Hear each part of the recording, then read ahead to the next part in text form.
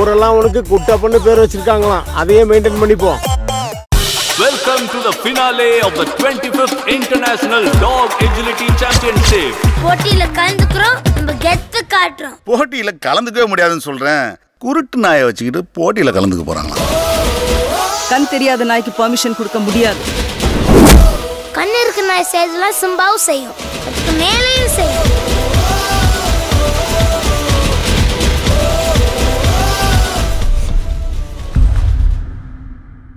வணக்கம் வணக்கம் வணக்கம். நான் மனபாலா.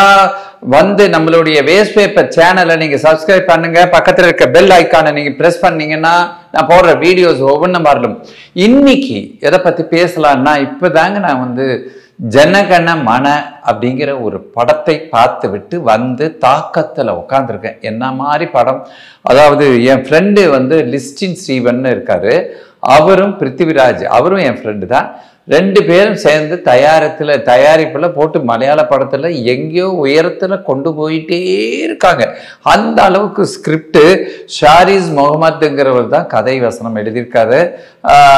வந்து டியோ டியோ டிஜோ ஜோஸ் ஆண்டனி அவர் தான் டைரக்ட் பண்ணியிருக்காரு. சுப்ரியா மேனன் அதாவது நம்ம பிருத்திவிராஜ் அவங்களுடைய ஒய்ஃபு நினைக்கிறேன். And Listin Stephen the film star Prithviraj Sukumaran.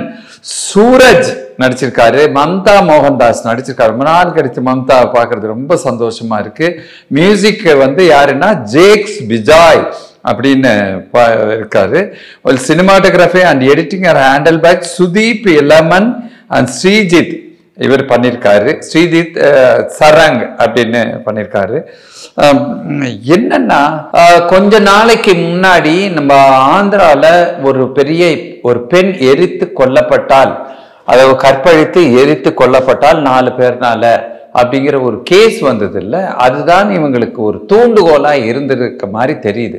ஏன்னா அந்த இதில் வந்து அது காலேஜ் போனால் கா கா- நம்மளுக்கு தெரியும் நியூஸில் ஆனா இதுல வந்து என்னன்னா ஒரு ப்ரொஃபஸரா தெரியுது. அவங்க தான் மம்தா மோகன்தாஸ். ரொம்ப நாள் கழிச்சு மம்தாவை பார்க்கறது ரொம்ப சந்தோஷமா இருக்கு. ரொம்ப அருமையாக நடிச்சிருக்காங்க. இதுல மெயினா என்னன்னா பிருத்விராஜும் சூரஜும் தான் பண்ணியிருக்காங்க. இதுல சூரஜ் வந்து ஃபர்ஸ்ட் ஹாஃபும் செகண்ட் ஹாஃப் ஃபுல்லாக பிருத்திவிராஜை பிரித்து எடுத்துக்கிட்டாங்க. அதாவது பிரித்து மேய்ஞ்சிருக்காங்கன்னே சொல்லலாம். அதாவது அவ்வளோ பெரிய ஒரு ஒரு சின்ன ஒரு மர்டரை தூக்கி அலசுற கதை தான் செகண்ட் ஹாஃப் ஃபுல்லாக கோர்ட்லேயே இருக்கு. ஆனால் ஒரு கோர்ட் சீன் கூட வந்து சுத்தமாக போர் அடிக்கலைங்க. அவ்வளோ டைலாக்குகள் பஞ்சஸ் அவ்வளோ நல்லா இருக்குது பிரமாதமாக எழுதியிருக்காங்க. வந்து கண்டிப்பாக இது பாராட்டியே தீரணும். என்ன கதைன்னா ஒரு ஒரு காலேஜ் யூனிவர்சிட்டி அதாவது இன்டர்நேஷ்னல் யூனிவர்சிட்டி மாதிரி அவ்வளோ நேம் வாங்கின ஒரு காலேஜுக்குள்ளே கிட்டத்தட்ட ஐம்பத்தி ரெண்டு பேர் வந்து சூசைட் பண்ணிக்கிட்டே இருக்காங்க. அதில் வந்து ஒவ்வொரு பொண்ணும் தற்கொலை பண்ணிக்கிறதுக்கு என்ன காரணம் அப்படிங்கிறது ஒரு கேள்விக்குறியாக வச்சு பின்னாடி அப்படியே கொஞ்சம் கொஞ்சமாக விளக்கிட்டே வர்றாங்க. அதில் வந்து இந்த ப்ரொஃபஸர் ஏன் கற்பழித்து கொல்லப்பட்டாருன்னா இந்த ப்ரொஃபஸரோட தாய் வந்து என் மகள் வந்து கற்பழித்து கொல்லப்பட்டாங்க. அந்த வந்து அந்த பெண்மணி யாருன்னா நம்ம ஊர் சாதனா நடிச்சிருக்காங்க. அந்த இது இந்த பக்கம் வந்து அமைச்சராக நடித்தது மத்திய அமைச்சராக நடிக்கிறவரும் ஒரு மத்திய அமைச்சர் இல்லை லோக்கல் மினிஸ்டராக நடிக்கிறவரும் நம்ம சுந்தர் நடிச்சிருக்கார். இதில் என்னென்னா இந்த மாதிரி அந்த ஸ்டூடெண்ட்ஸுக்கெல்லாம் இவர் ப்ரொஃபஸராக இருந்தாலும் அதெல்லாம் என் ஸ்டூடெண்ட்ஸ் அப்படின்னு சொல்கிறதுலையே அழகு தெரியுது. அது இட்ஸ் ஆல் மை ப்ரைட் என்னுடைய வாழ்க்கையே என்னுடைய ஸ்டூடெண்ட்ஸா அப்படின்னு நினைக்கிற ஒரு ப்ரொஃபஸர் இருக்க முடியுமா? இருக்கிறாங்கன்னு காட்டுறாங்க. அவரும் காதலிக்கிற மாதிரி ஒரு ப்ரொஃபஸர் அவ்வளோ அழகாக அந்த ப்ரொஃபஸர் கேரக்டரை டிசைன் பண்ணதுலேயே நம்ம ஒன்றி போயிடுறோம் அந்த கதையில். ஒவ்வொரு ஸ்டூடெண்ட்டும் தனிப்பட்ட முறையில் ஈடுபாடோட அவங்களுடைய வாழ்க்கையும் அவங்களுடைய முன்னேற்றத்துக்கான காரணமும் ஒவ்வொன்றும் பண்ணுறாங்க அங்கே உள்ள ப்ரொஃபஸர் இவங்களை இங்கே இப்படி தான் இருக்கணும். இல்லைன்னா உங்களை டெலீட் பண்ணிடுவாங்க.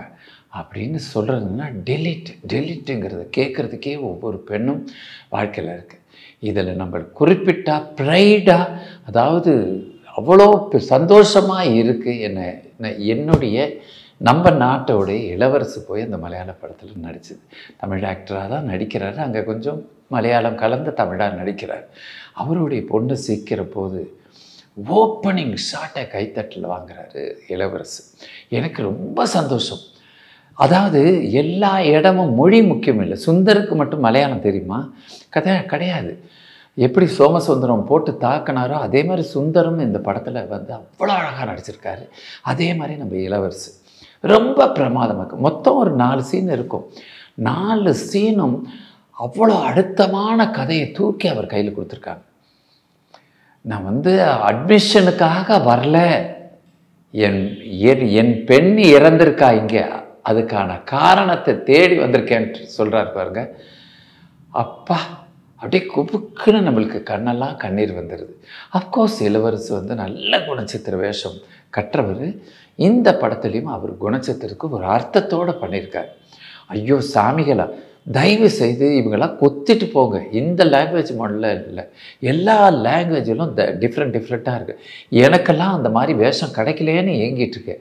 பண்ணுறவங்கள தயவு செய்து தூக்கிட்டு போங்க.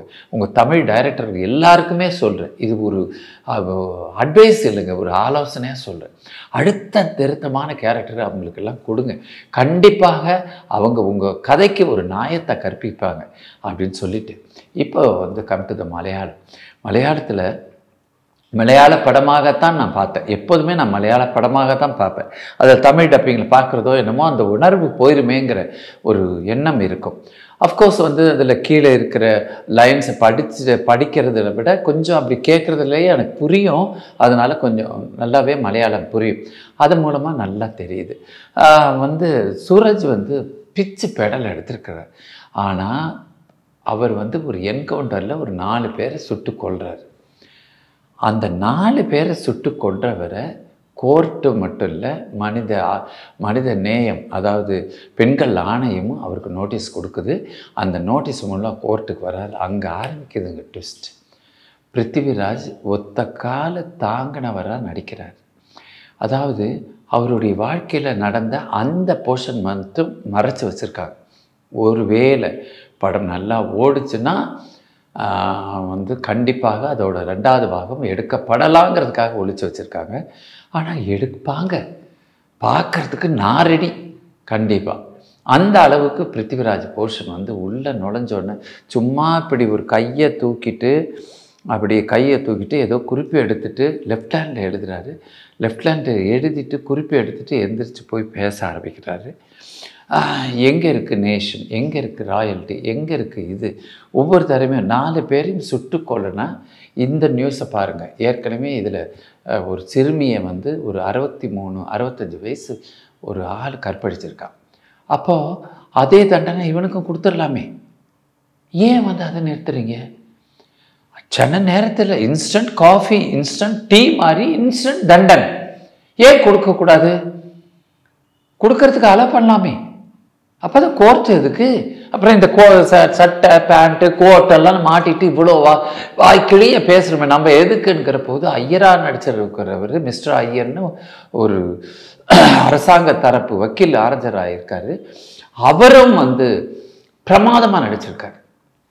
அவர் சொல்கிற பாயிண்ட்லாம் அவ்வளோ அழகாக இருக்குது ஆஹா தப்பிச்சிட்டா அப்படின்னு. எந்த கை வந்து தட்டுதோ எந்த கை வந்து தட்டது மூலமாக அப்படி பேர் வாங்குறோமோ அதே கை தட்டல் நெகட்டிவாக மாறும்போது என்ன ஆகுங்கிறது இந்த படத்தில் இவ்வளோ துல்லியமாக சொல்லியிருக்காங்கன்னா தயவு செய்து இந்த படத்தை போய் பாருங்கள் ஒரு கைத்தட்டல் உங்களுக்கு ஆராயிருக்க ஆரோக்கியமாக இருக்கும். ஆனால் அதே கைத்தட்டல் நெகட்டிவாக மாறும்போது என்னவாக மாறும்? அப்படிங்கிறதுல இந்த இந்த படம் வந்து ரொம்ப அருமையான உதாரணமாக இருக்குங்க. உண்மையிலே கைத்தட்டி பாரம் பாராட்டணும் அதாவது எனக்கு வந்து எல்லாரையும் விட எனக்கு பிருத்திவராஜ் அவருடைய ப்ரொடக்ஷன் என்ன ப்ரொடக்ஷன் தன்னுடைய ப்ரொடக்ஷனை இப்படி நல்ல நல்ல படங்கள் நல்ல ஸ்கிரிப்டை வரவேற்று பண்ணி அப்படி வெளியிடுறதுல அவர் என்ன ஆர்வமாக இருக்கார் பாருங்க. ஒவ்வொருத்தரும் அவரை பார்த்து கற்றுக்கணும் அந்த அளவுக்கு அவ்வளோ ப்ரைடாக பண்ணியிருக்காரு. கண்டிப்பாக பாராட்டு. ஒவ்வொரு டெக்னீஷியனும் பாராட்டிகிட்டே இருக்கலாம். அவ்வளோ ப்ர சூப்பராக இருக்குங்க. இந்த படத்தை வந்து நான் வந்து நேசித்து காதலித்து பார்த்தேன்.